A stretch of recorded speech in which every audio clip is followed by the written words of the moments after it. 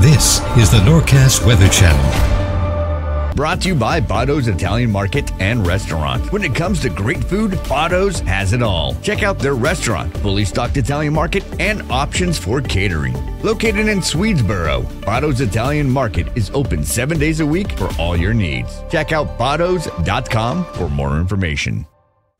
Temperatures out the door right now are about 15 degrees warmer than where we were 24 hours ago because obviously we had the clouds, we had the chance of rain overnight tonight uh, or last night. So that just allows for a warmer feel overall. A little bit cooler out towards West Chester and Lancaster, both coming in around 40 degrees, 50 in Atlantic City.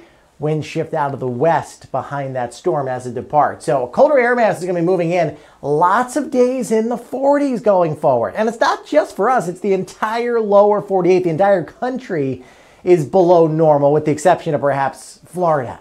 No big swings. We've got a nice weekend coming our way. No wet weather either. All right, so you can go through the weekend cold, but dry at least. Cold and wet would not be a very fun thing to deal with. Beyond the 7 day forecast, it looks like that chill kind of holds in the northeast and mid Atlantic, but it'll eventually will ease maybe as we get towards uh, your holiday, towards Thanksgiving.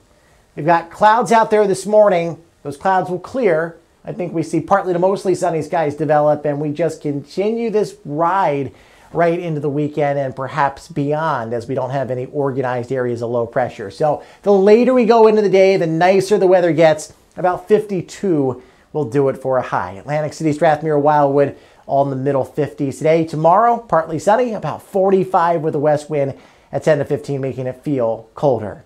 Your seven day forecast shows you that chilly weekend. Look at these overnight lows. Some of the Pine Barrens early next week could get down into the teens. Lots of sunshine, so no issues in that department.